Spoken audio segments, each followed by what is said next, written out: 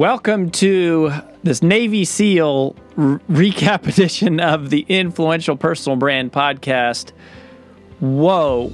Um, talking about how personal brands can create an unbeatable mind with longtime Navy SEAL Commander Mark Divine. I mean, this guy, holy moly, like, whew. I mean, I don't know what to say. Like this, this interview it blew my mind. And I've interviewed Mark before. We've we've known each other for years, and every time I interface with him, I am just amazed at like.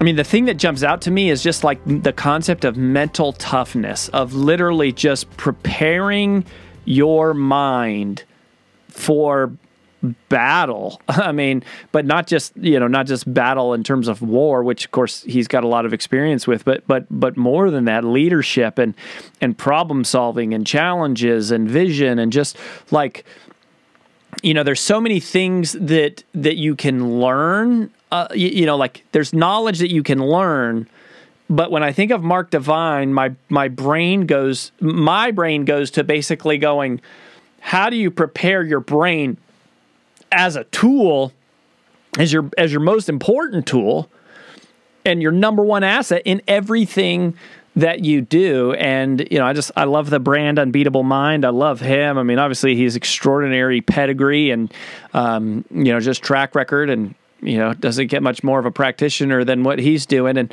um, so i love this and if you haven't listened to the interview you need to go listen to it because this is this is it's about strength. It's it's about having a strong mind. It's about being able to overcome your circumstances and how do you how do you how do you rise above the the negative thing that's happened the negative things that happen to you and how do you overcome and get around the difficulties that are every part of life and you know learning the tactics uh, that Mark talks about are super practical and just powerful, right? Just because of the intensity of the situations that that he's been in. And and if you haven't listened to the interview yet, or even if you have, one of the things that's amazing to me is, you know, you hear Navy SEAL, like the mind kind of goes to like war hero, but Mark has this this really elegant beautiful balance of of you know like Eastern meditation and and um, you know it, it's it's it's a higher level than just you know I am strong and I'm going to destroy. Like it's not that at all.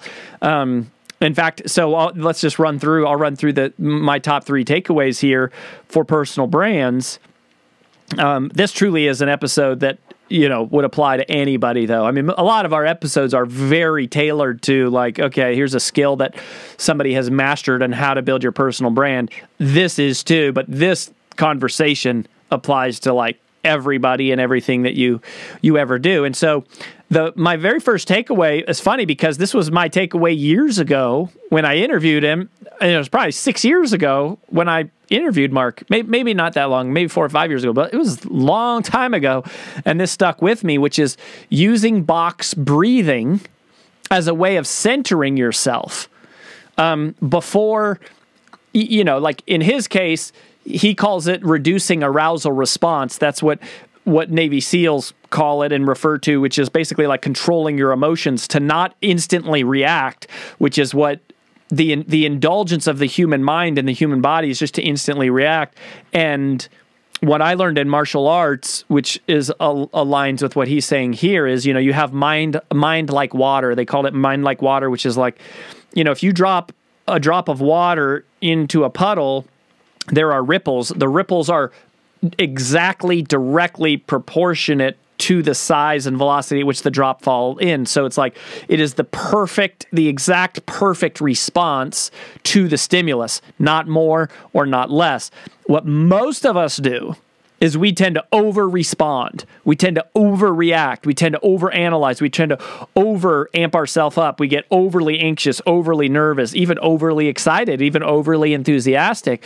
And, you know, listening to Mark talk about this was both taking me back to last time we talked, but even taking me back to when I was a kid studying martial arts about mind like water, which is just basically receiving the stimulus and reflecting back the exact perfect and proportional response. So box breathing is a technique. This is what I love about him, right? Is he makes it so practical is going, okay, here is how you center yourself before going into battle, which is that you breathe in, and, and so you just do four four counts of whatever number. Let's just say four counts of four. So you breathe in for four seconds.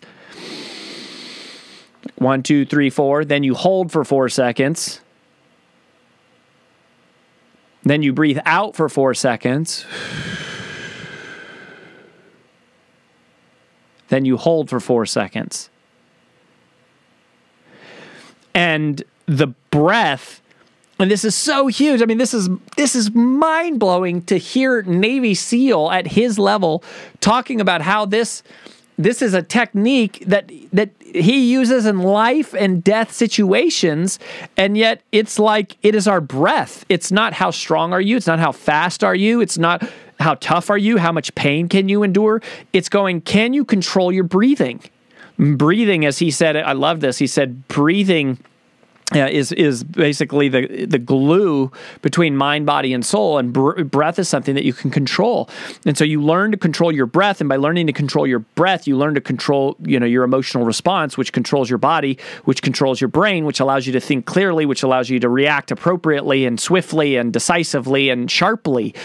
Amazing, amazing. And so you know that that certainly uh, applies to a battle. But as a personal brand, when does that show up? It shows up before any presentation, right? It shows up before a keynote, before a webinar, before you make your offer, right? Like before you get on a big podcast or media interview, or before before you turn a video on, right? And you just go, don't forget to breathe. Like air allows you to think clearly. So you're hyperventilating when it's time to record your like weekly video blog like don't forget to breathe for a second before you hit record and like center yourself so it's not so frantic. Um, i think that's really really powerful all right? So that was my first takeaway which is stuck with me and and will continue to stick with me. Um, the second takeaway though I've never heard him say, I've actually never heard anybody say, and he said it like very quickly, almost as if like it's a, you know, it's like a cliche or it's like something that is like um you know just kind of a platitude that's out there in the world but i had never heard this before and it really stuck with me as he said no plan survives contact with an enemy. No plan survives contact with an enemy. That is so good and so important like for two reasons.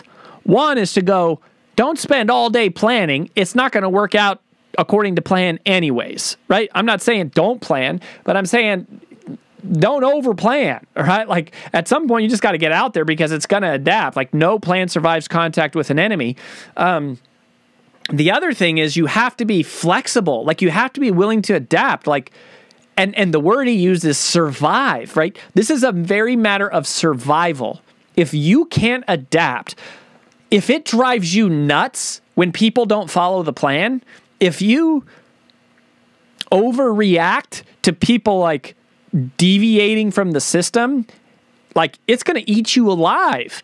And I think as an entrepreneur, right, it's like we want to create processes and streamlines and checklists. This is how we multiply time and all that sort of stuff. But it's like people are not going to do it the way that you do it. And even when you create a launch plan, you think this is how it's going to go. Like it's not, it doesn't work out perfectly. You have to be, in order to survive, you have to be able to adapt and not just adapt, like create a new plan. I think there's a deeper part of this is to go, it's not just create a new plan, it's to be emotionally prepared for volatility. It's to be emotionally prepared for imperfection. It is to be emotionally resilient to the idea that yeah, I got a plan, but I'll I'll adapt accordingly. I never know what the enemy is going to do, right? I never know how the project's going to turn out. I never know what's going to be thrown at. And so you trust in your your preparation, but you allow yourself to adapt um, on the fly. And I think this is really hard. I think this is really hard, specifically for entrepreneurs who are do gooders and checklisters and taskmasters. They like to create the plan, execute the plan. And entrepreneurship is a mess, right? Like success is messy. Success is never perfect. It's always like, you know, Donald Trump would say it's a total disaster. Like it is it, every time we try to accomplish something, it never works out. There's always something that shows up that we didn't expect. No plan survives contact with an enemy. By the way, it reminds me another. This is another one of my favorite quotes, which is kind of like on this subject. Uh, you know, Mike Tyson said it this way. He said, Everyone has a plan until they get punched in the face. Everyone has a plan until they get punched in the face. I mean, this is a big deal, right? So a plan is not going to just be the thing that is your shield that causes you to survive. Like a plan is a starting point. Uh, a plan should give you confidence, but it's like you can't hide behind the plan. You can't expect the plan to go perfectly. You got to be able to adapt. You got to be flexible. You got to be nimble. Um, because that's just the way that battle is. And most of us, that's what we're doing. And um, so that was super powerful to hear him talk about that.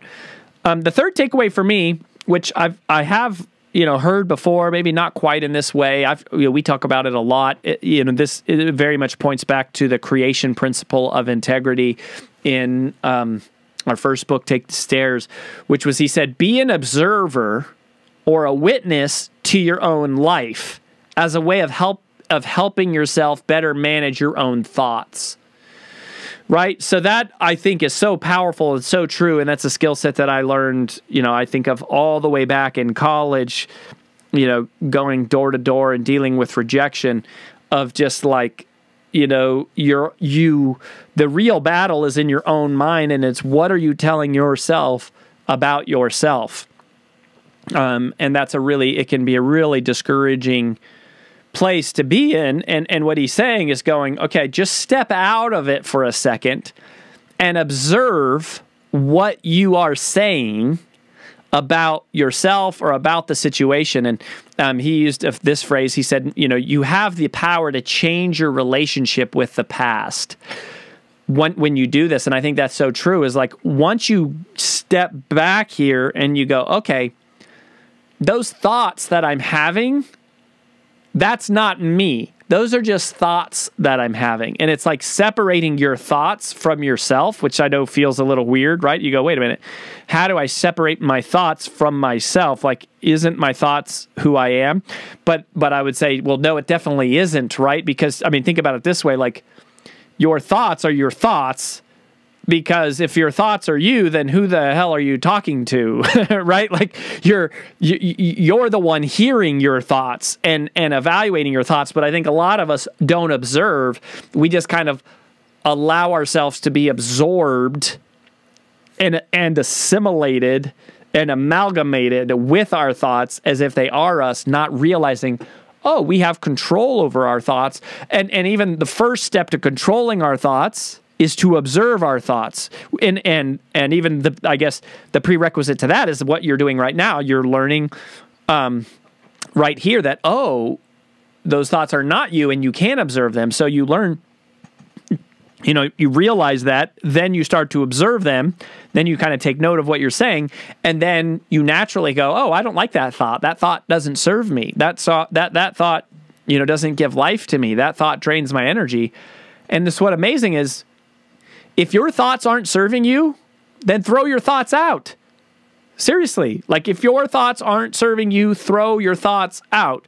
But realize the first step is to be an observer of your own thoughts. Be a witness to what you're thinking about yourself, to what you are telling yourself about yourself. This is super empowering. And what you'll find when you do this, you'll be shocked at how many of your thoughts don't even come from you.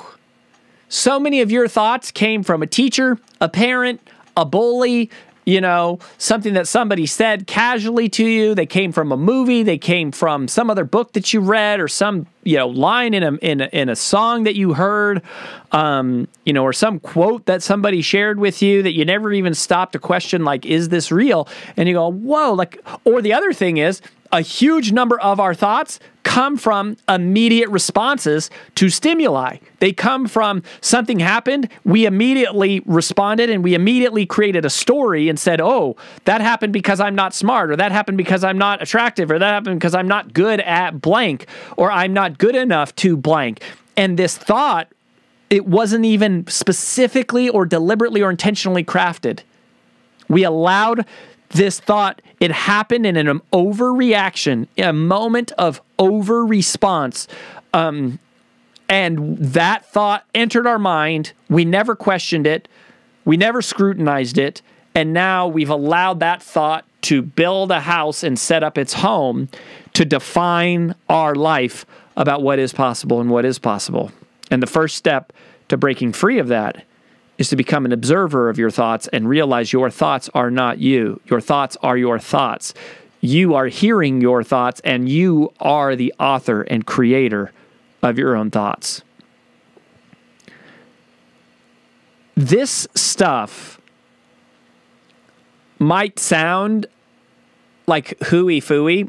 This is one of the other reasons that I love this is like this kind of stuff, like box breathing and visualization and you know be adaptable and self-talk.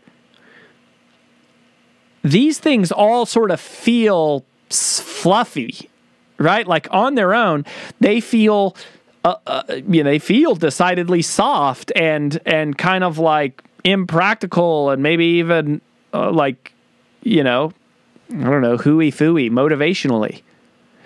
Until you hear Commander Mark Divine, who is an Ivy League graduate, has multiple degrees, is you know best-selling author, and has been in the uh, the most elite of special forces units on the planet, and been in wartime, saying, "No, no, no, this is the key. These are the secrets to an unbeatable mind." And if you want to master anything in your life, whether it's building a personal brand, building a business, making a difference, or surviving war.